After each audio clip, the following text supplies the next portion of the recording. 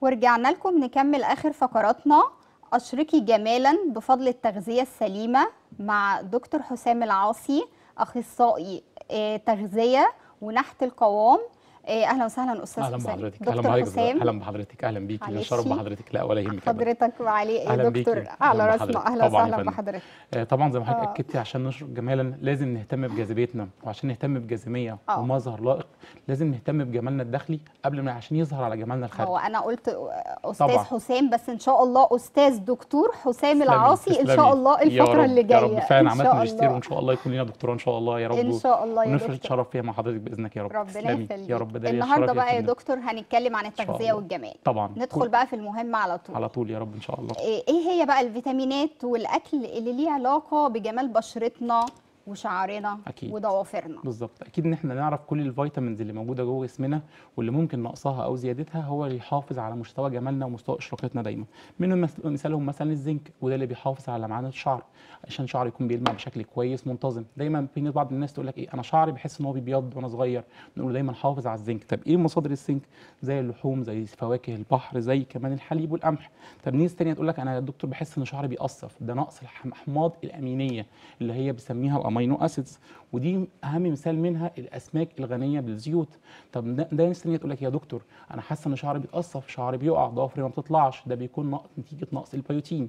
البيوتين من أهم المكونات اللي بتخش في تكوين الشعر والبشرة. وكمان سلامة الأظافر. ده بيخش في مكونات كتير زي الحليب وزي البروتينات اللي محتاجها في جسمي.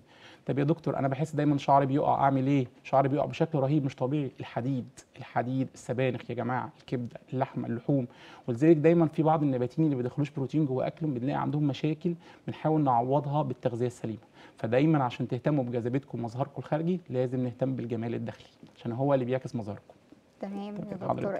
طب أنا عايزه أعرف يا دكتور ليه أوقات لما بنيجي نخس إيه بنخس وشكل جسمنا بيتغير ومقاساتنا بتتغير بس الميزان بيتنيه واقف؟ صحيح في حالات كتير بتواجه معانا المشكلة دي بس أنا أحب أطمنهم وأقول لكم مبروك انت كده بتخسي دهون. في فرق كبير جدا لما تيجي حضرتك تبدأي تخسي دهون بس أو تخسي كتوتال وزن. ما تفرحيش بميزانك لما ينزل فجأة وينزل بكميات كبيرة متواصله ممكن ينزل في الأول لما في مية مختزنه في الجسم وبتنزل. لكن أنا يهمني إن أكتر حاجة تنزل في شكل جسمك؟ الدهون. الدهون هي اللي بترسم شكل جسمنا. الدهون هي اللي بتخلي عضلاتنا بشكل كويس. لكن لو جسمنا وقع عضلات وفقد بروتيناته بالتالي شكل جسمي بيكون سيء. وده بيكون نتيجة الأنظمة الغذائية السيئة اللي بتعتمد على ال low carb الكربوهيدرات القليلة والسعرات الحرارية القليلة. فانا لازم بعد كده ابدا انظم ما بين وجباتي واهم حاجة بنصح بيها مشاهدينا الحركة والتمارين هي اللي بتحافظ على عضلة جسمي وتخليني انزل دهون بس فطبعا بطمنهم مبروك حضرتك انت نزلي دهون مطمني على نفسك. تمام يا دكتور طبعاً. كويس إن حضرتك طمنت المتابعين شرف لينا. إيه أسباب بقى يا دكتور هبوط فيتامين د آه، في آخر فترة في الآونة الأخيرة بالذات في السنتين اللي فاتوا دول بسبب إن إحنا كنا كان فترة كتير كنا بناخد أجازات وقاعدين في البيت لاحظنا إن ناس كتير بدأت تنزل على مستوى فيتامين د من أهم أسبابها إن نقص فيتامين د هو الشمس إن إحنا ما بنتعرضش للشمس. دايما نقول على فيتامين د هو فيتامين مجاني ولذلك قله تعرضنا للشمس؟ هو بيوقع مستوى فيتامين د في جسمنا. تاني حاجة عدم أكل أنظمة صحية وأكل صحي يساعد على دخول فيتامين د جوه جسمي. آخر حاجة بنحافظ عليها في مستوى فيتامين د إن فكرة إن أنا السمنة لما بيكون في مستوى السمنه عالي ده بيخلي فيتامين د بيجري يختزن جوه الدهون وبالتالي بيجي مع الوقت بنلاقي مستوى فيتامين د في الجسم طبعا معانا سمنه ولذلك ما تجريش تعمل على طول تاخد سبلمنت لا استنى تنزل شوية في الوزن وطبيعي هتلاقي فيتامين د بيقع معاك وبيظهر معاك بشكل متوسط. إحنا معانا مداخلة يا دكتور. اتفضل يا فندم. ونقول السلام عليكم. أستاذ يوسف. ألو؟ السلام عليكم. أستاذ يوسف. السلام عليكم. وعليكم عليكم السلام ورحمة الله وبركاته. اتفضل؟ حضرتك. إزيك يا يوسف؟ إيه الأخبار؟ بخير والله الحمد لله كله بخير. الحمد لله صوتك مش غريب. في أي سؤال للدكتور؟ حبيبي. ألو إيه الأخبار؟ اتفضل. طب مش عارف صوتي يعني؟ مش لا لا؟ صوتك قريب عليا. حد ومتابع معايا من زمان كمان. يوسف. يوسف حدائق الأهرام صح؟ يوسف بلال معاك. أهلا بيك. إزيك يا يوسف؟ إيه الأخبار؟ حبيبي، ده احد من أهم المتابعين. لينا وكان لينا. كمان صور ليه معانا أعتقد. يا ريت؟ آه في صور معانا ليوسف لو يا ريت نقابل يظهرها صور لو صور يوسف آه، ممكن ننزلها بعد إذنكم. آه طبعا يا ريت. إيه الأخبار يا بطل؟ كله بخير والله الحمد لله طمني عليك. انت إيه أخبارك والله طمنا يا لله. يا ريت يوسف بقى بقى. انت تحكي لنا خلال فترة المتابعة. ثلاث شهور ونص اللي فاتوا وإحنا وصورك أعتقد ظهرت على الشاشة اهي آه تحكي لنا طول الفترة دي إيه آه، الاخبار ما شاء الله. مع دكتور حسام ثلاث شهور و15 يوم يعني ما شاء الله فأنا كنت آه، عملت دايت كتير قوي قبل كده وتابعت مع كذا دكتور وتابعت مع كباتن في الجيم وكده فما كنتش بوصل للنتيجة اللي أنا وصلت لها مع دكتور حسام ديت فدكتور حسام صراحة رحت له ف يعني كنت رايح بس أتناقش الأول وأتابع معاه الدنيا فيها إيه. فأول ما وصلت لقيت رقم غير اللي كنت متوقعه خالص رقم رهيب. ما شاء الله. ميزاني عالي قوي يعني. ما شاء الله. فقلت له يا دكتور تكلمنا سوا مع بعض فقال لي هتبدأ إمتى؟ قلت له هبدأ من النهارده أنا شفت الميزان خلاص اتخضيت لازم أبدأ من النهارده مع حضرتك. فبدأنا مع دكتور حسام الحمد لله من أول أسبوع كان في نتيجة ممتازة من تاني أسبوع برضه في نتيجة ممتازة. في خلال شهر عملت رقم ممتاز جدا جدا كان 12 كيلو في شهر أول شهر. آه أنا وزني كنت 134 ونص عشان بس يبقى الكلام واضح يعني. طب قول لنا بقى يا أستاذ وإحنا وصلنا يوسف إيه الفرق إيه الفرق اللي أنت حسيته من آه، وأنت كنت من الفترة دي والفترة دي؟ هو يعني أك... يعني أكتر حاجة عجباني مع دكتور حسام صراحة التنويع في الأنظمة يعني. وكل نظام بتابعه أنا بنزل فات بس محافظ على نسبة العضل ومحافظ على نسبة الدهون آه، الميه اللي في جسمي. آه لكن بنزل فات فقط لا غير. في الانبادي بتاعي يعني. تمام يعني هو فتنوع الأنظمة بصراحة مع دكتور حسام الأنظمة الغذائية بالذات يعني أنا مش محروم من حاجة مع دكتور حسام أنا باكل تقريبا كل حاجة. بس بليميت آه. وتحت اشرافه هو يعني. ثلاث. ثلاث شهور آه، ما شاء فترة الله. وجبنا آه، فيها رقم؟ انت. كام دلوقتي يا. يوسف؟ ما شاء الله. وصلنا كام دلوقتي يا يوسف؟ إحنا حاليا 110 آخر حاجة.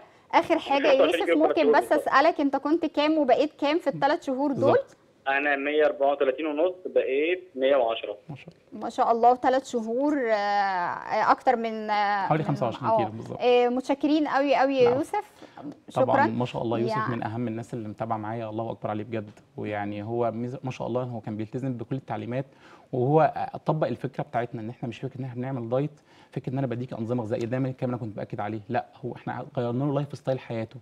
life style هيمشي عليه حياته كلها طول عمره بتنظيم وجبات غذائية بتنظيم الأكل بالحياة اللي هو بيقدر ينظمها ويبدأ ينعم بشكل أفضل. وإن شاء الله من أحسن لأحسن وبتفوق يا بطل إن شاء يعني الله. نعيد تاني يا دكتور إن كل جسم له نظام معين. طبعا طبعا. وبأكد على المعلومة دي. مفيش حاجة يا جماعة اسمها نظام غذائي ثابت مفيش حاجة اسمها يا دكتور أنا قريت على النت إن الكيتو بيحرق قريت على النت إن الصيام المتقطع بيحرق. كل جسم له نظام غذائي بيتفسر على style حياته. على فكرة حرمان الأكل غلط مش صح. اوعوا تفتكروا إن إحنا لما نوقف أكل خلاص هنقص بالعكس هنقص في الأول كمية كويسة ولكن بعد كده الحرق بوابه الحرق عندنا بتقف. دايما بقول للناس من أهم مشاكل في إن توقفنا الحرق اللي بنتكلم عنها بشكل أفضل اسمها بوابة الحرق العضلية. بتقف ليه؟ بسبب واحد الروتين والثبات عدم الحركة عدم شرب المية وأهم سبب ورابع سبب فكرة تثبيت الوجبات أو الحرمان. لما أنا بوصل جسمي إن أنا أفصل على روتين أكل ثابت أو وجبات ثابتة النوع ده بيثبت الأكل. لأن بالبلدي كده ال intake بيساوي ال outtake معدل الداخل هو معدل اللي خارج بالظبط. تمام يا دكتور. طب دكتور أنا عايزة أعرف إيه الأعراض اللي أنا لو حسيت بيها.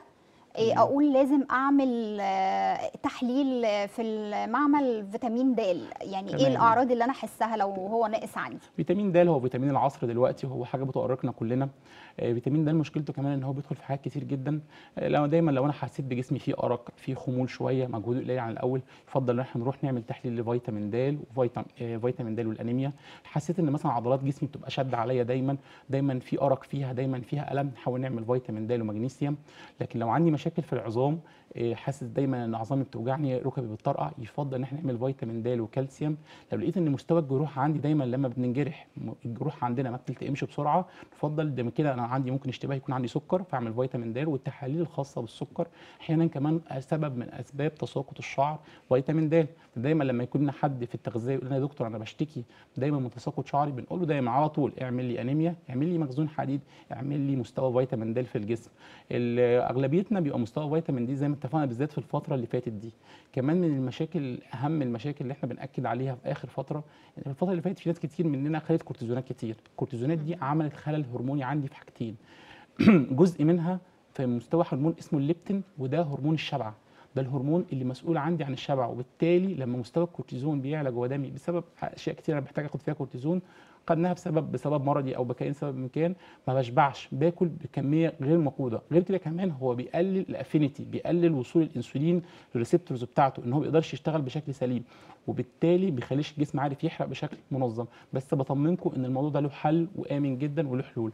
نحاول نحافظ كمان على الأكل اللي بيكون فيه فيتامين د زي زيت كبد الحوت زي مصادر كتير في اللحوم البيض الحاجات الكتير اللي بتخش جوه جسمنا.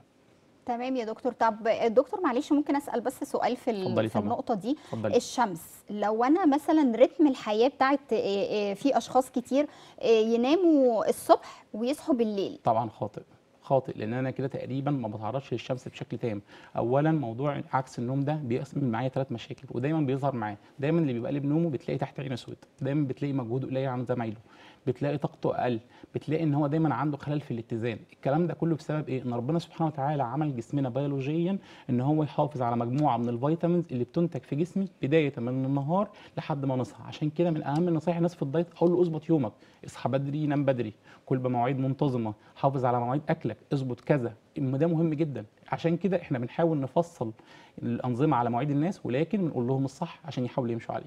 إن شاء الله. إن شاء الله يا فندم. آه، الدكتور معلش بقى ممكن تقول لي للناس كده شوية مشروبات للناس اللي حرقها طبعاً، ضعيف؟ طبعاً، يعني في طبعاً. ناس كتير حرقها ضعيف ب- يعني صحيح. بتحتاج حاجة صحيح. أهم المشروبات طبعا عندك زي الجنزبيل والقرفة وده اللي بيعلي الحرق بيحسن الدورة الدموية. المية والكمون والعسل. بتعلي معايا الحرق وتحسن الدورة الدموية. المشروبات اللي بتكون فيها الأحماض الأمينية- أحماض زي الفواكه الحمضية اللي بتكون فيها فيتامين سي وبتعلي الحرق معايا جدا كويس جدا برضو. اتكلمنا على القرفة اتكلمنا على الجنزبيل. كمان بنشرب آه، أحب أفضل دايما أقول للناس المشروب ده أنا بحبه دايما أقوله يعني بحبه اسمه مشروب عصر وبيلزق بطننا في ظهرنا. نشرب كوباية مية دافية عليها عسل أبيض وعليها نص ليمونة وعليها أي حاجة من الحاجات اللي إحنا اتكلمنا فيها دي. مهمة جدا إحنا نشربها كوباية على الريق وكوباية قبل هو النوم المشروب الأخير اللي حضرتك قلته دوت يعني غير إن هو بي بالظبط بيعمل بيحسن الهضم ال- طبعا آه. وبيعلي معايا معدل الحرق وكمان بيقوي ال- المناعة طبعا آه، بشكل عام بيقوي المناعة بالظبط، ده بيبقى بيقوي مفيد المناعة طبعاً، جدا طبعاً، آه. طبعاً، زي ما. حضرتك. الدكتور قال لي عليه على فكرة بالظبط. ممتاز ال- بالظبط المشروب ده وبحب جدا نهتم بالطبيعة يعني سواء كان في التغذية أو النحافة المنتجات العشبيه ممتازة جدا دايما إن أنا أحب أتجه للطبيعة الأول لو كانت الدنيا عندي واقعة قوي ببدأ أدخل supplement وأدخل حاجات تساعد بس دايما والديتوكس يا دكتور برضو بي من المشروبات الممتازة جدا جدا. آه. وأحلى حاجة في الديتوكس إن إحنا عشان نجيب أحسن ناخد منه أعلى فوائد بنجيب كوباية مية أو شفشق ميه لتر مثلا نحط فيه كل الحاجات الطبيعية زي مثلا شرايح برتقال شرايح ليمون نعناع ينسوق آه، آه، نعناع قرفة الحاجات دي كلها الحاجات الطبيعية ونحطها في الثلاجه تبات من 8 ل 10 ساعات. وبعد ما تبات بنيجي نبدأ نشربها تاني يوم طول اليوم. بتعلي معايا معدل الحرق وبتخلص الجسم أكثر السموم الموجودة فيه. طب أنا عايزة حضرتك تقول لنا على ال- الصور اللي هتطلع حالا حاضر طبعا آه، عنها فترة إيه وخدوا فترة قد إيه فترة زمنية. وخسوا من كام إحنا خدنا حالات و- بسيطة عشوائية وكان تشجيع للناس وإن شاء آه. الله الحلقات الجاية هنبدأ نعرض حلقات تانية إن شاء إن الله شاء الله إن شاء الله. دلوقتي. نشوف آه، مع بعض الحالات طبعا آه، الحاجة منى طبعا من أهم الحالات عندي آه، وأنا بتشرف بيها جدا لأن أصلا الحاجة منى هي جالي حالة مرضية مش حالة تقسيمنا. هي كانت جالي حالة مرضية وكانت متحولة عليها من دكتور بطن وقلب إن هي ما بتقدرش تتحرك من الجسم خالص مم. بسبب موضوع السمنة ضغط عليها وضغط على كيمياء جسمنا وعلى وظائف القلب والكبد فكان الدكتور طلب منها إن هي تحاول تخس بشكل سريع. وكمان هي سننا كبير بس ما شاء الله جات لي قبل رمضان وقدرنا في فترة قصيرة معاها حوالي ومن شهرين فترة. قصيرة بقى خست من كام لكام؟ ما شاء الله إحنا داخلين مع بعض لحد دلوقتي 30 كيلو. 30 كيلو آه، ما شاء الله في حوالي ما شاء الله. يعني ما شاء الله حوالي ال- 3 شهور ونص. البنوتة الجميلة بنوته جانا ما شاء الله من بنوتة العسل ما شاء الله وسننا حوالي 16 سنة والله أكبر يعني قدرنا نوصل لوزنها المثالي اللي هي بتطمح ما شاء فيه الله أصلا حوالي يعني 12 كيلو في, آه، في, لا يتعدى الشهر ونص. وزنها آه، يعني باقي يعني على شكلها بالظبط. يعني هي الميزة كمان إننا آه. دايما لما بنخس الناس بنحافظ إن إحنا نحافظ على وشهم وشعرهم نحافظ على إطلالتهم دايما بشكل سليم. مهم جدا إن الناس لما طيب. تخس معايا اتفضلي نصيحة بقى مهمة حاضر جدا طبعا. جدا للدايت. كده في السريع. حاضر نقول خمس حاجات مهمة نحافظ عليهم. واحد نصحى بدري. اثنين ننام بدري. دي مهمة جدا. ثلاثة نظموا مواعيد أكلكم. أربعة اشربوا مية كويس بروتين يومي. كل 30 كيلو مننا نشرب له لتر مية. فبالتالي إحنا لو 90 كيلو نشرب 3 لتر على مدار اليوم. أفضل وقت لشرب المية يا قبل الوجبات يا بعد الوجبات. المية وسط الأكل ما بتعملش كرش ولكن كترها غلط. رابع حاجة وده مهم جدا إن إحنا نحاول نقلل نستبدل السكريات مثلا بحاجات مفيدة زي العسل الأبيض. نستبدل الحلويات بالزبادي وعليه الفواكه ال fresh. كمان نحاول ما نقنعش نفسنا إن ال diet مرض إن ال diet هو حاجة أنا همشي عليها فترة. لأ عيش حياتك إن ال diet ده life style امشوا اتحركوا يلا ابدأوا. أنتم مستنيين إيه؟ الحماس والتشجيع هو أهم حاجة. أشوفكم دايما كلكم بألف خير يا رب. دايما يا دكتور يا رب،. وأنا سعيدة جدا جدا. بلقاء حضرتك أنا اللي شرف. و- تسلمي. تسلمي يا إن رب. شاء الله لينا شاء الله. حلقات مع بعض وعشان. عندي أسئلة كتيرة جدا جدا. لحضرتك شاء لأن الله أنا. شخصيا الله بستفاد بال- بالمعلومات الجميلة دي آه، تسلمي. وطبعا متابعينا تسلمي أنا اللي بتشرف بحضرتك دايما وبتشرف بالبرنامج ودايما نكون معاكم على خير يا رب شاء صحة وسلامة الله اللهم وإن شاء. الله انتظرونا كل شاء الله خميس في القلب وميريت علشان نشوف كل جديد معانا إن شاء الله إن شاء مع الله. السلامة في رعاية الله